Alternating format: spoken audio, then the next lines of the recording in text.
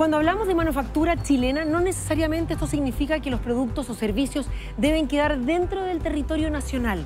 Es por eso que quisimos venir a mostrarles, a entregarles herramientas respecto de qué tan fácil o qué tan difícil puede ser salir a mostrar esas ideas, a destacarlas alrededor del mundo.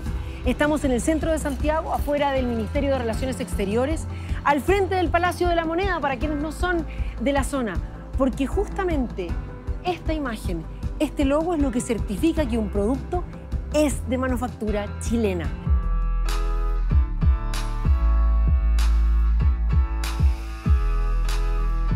¿Cuál es el principal, la principal proyección que ustedes ven hoy para los emprendimientos chilenos, la manufactura nacional en el extranjero? Bueno, hoy día nosotros estamos en un trabajo, pero desde el día uno partimos viendo el tema manufacturero, cómo potenciar la industria nacional, la industria manufacturera nacional, y ahí tenemos algunas alianzas con los grandes gremios, ya que nos permiten también conocer sus requerimientos.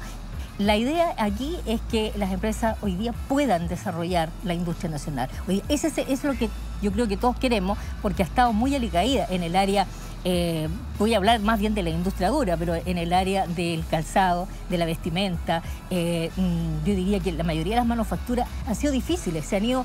Eh, ha entrado mucha mercancía de fuera y que ha ido cerrando nuestras empresas, nuestra oferta. Pero yo creo que hoy día poniéndole un valor agregado, pudiendo marcar algo, hacer algo a la medida de un cliente, nos pone en otro, en otro piso.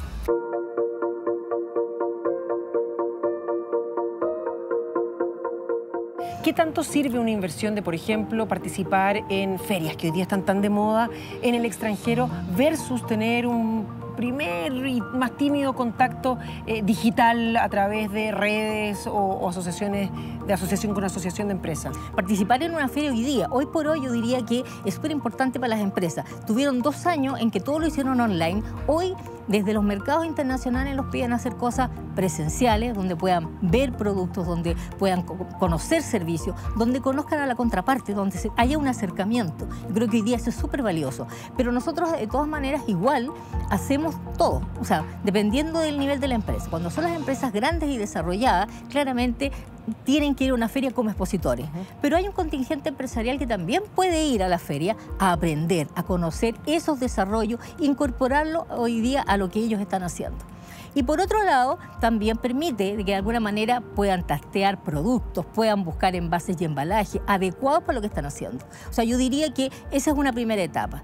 Después, estas empresas uno les prepara en el marco de la feria una rueda de negocio, ya con clientes. Nuestras oficinas ahí nos buscan clientes a la altura más o menos, y digo a la altura que sean las mismas condiciones, no exponer a una empresa chilena a que vaya a vender lo que realmente no tiene, sino dar el primer paso, vincularse, conocerse y muchas veces ocurre que allá conocen a alguien y ese alguien, que es otro empresario, le dice, mira, me gustaría que esto me lo acomodaras aquí, me lo ajustaras allá. Y la empresa manufacturera hoy día puede hacer eso, puede hacer cosas a la medida de los clientes. Entonces es importantísimo esa, esa conversación presencial.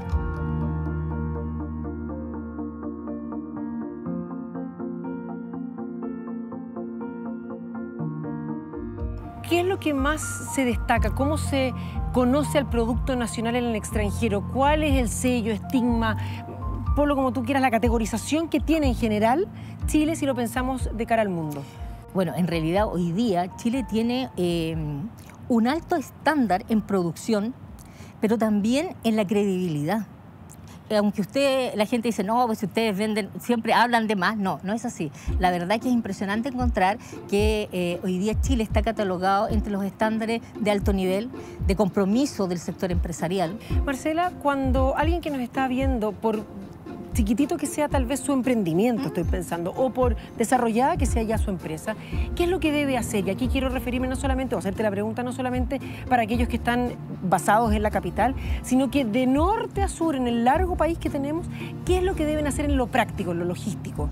Mira, lo primero es nosotros tenemos a través de nuestra web ah, un, eh, acceso a poder eh, pedir una reunión, eh, que uno llena una ficha que es un perfil de empresa y tomar contacto con los ejecutivos regionales. Nosotros tenemos hoy día en cada una de nuestras regiones una oficina regional donde tenemos eh, funcionarios especializados en ciertas áreas y la idea es puedan tomar contacto.